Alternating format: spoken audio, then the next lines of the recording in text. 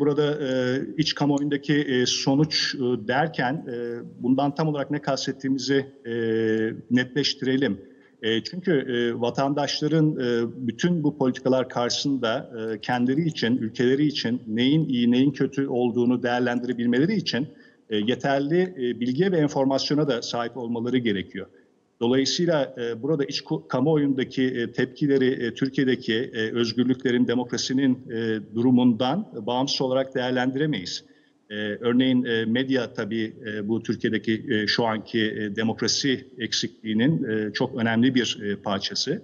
E, Türkiye'de e, insanların çoğunluğunun tabii bir ekmek kavgası içerisinde olan dolayısıyla belki her zaman internetten e, haberleri takip edemeyen ya da doğru habere ulaşmak için e, yeterince imkana sahip olmayan insanların çoğunluğu açısından baktığımız zaman e, Türkiye'de özellikle iktidarın e, güdümünde olan, e, kontrolünde olan, etkisinde olan, güdümünde olan e, medyanın e, doğru e, bilgiyi e, ne kadar e, iletti, e, doğru bilgiyi e, ilettiğini e, söyleyemeyiz insanlara.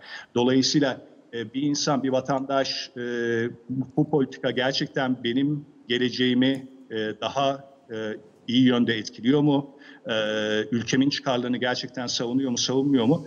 Buna karar verebilmesi için e, bağımsız bilgiye ulaşması lazım. Suriye'de gerçekten ne oluyor? Gerçekten ne yapılıyor? Dünyada Türkiye hakkında neler e, söyleniyor? Ayrıca bu operasyona başlanırken hangi hedefler konuldu? Bugün geldiğimiz noktada bu hedeflere e, oranla e, gerçekten e, Türkiye e, nerede?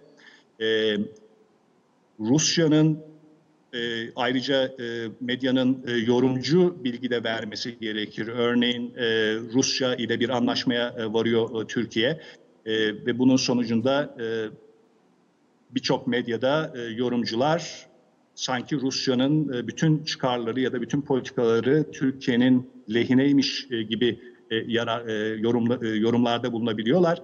E, oysa Doğu Akdeniz'e baktığınız zaman, başka politika alanlarına baktığınız zaman e, Rusya ne söylüyor, e, ne tür hedefleri var? Bütün bu bilgiler eğer e, vatandaşlara yansıtılabilirse, yani insanlar bu bilgiye sahip olurlarsa, e, bunun sonucunda tabii e, hakikaten iktidarın uyguladığı e, politika başarılı mı değil mi? Ülkenin e, çıkarına mı değil mi, e, kendilerinin, e, çocuklarının geleceği açısından iyi mi kötü mü bu konuda güvenilir bazı kanaatlere varabilirler. Bugün bu Türkiye'de mümkün değil.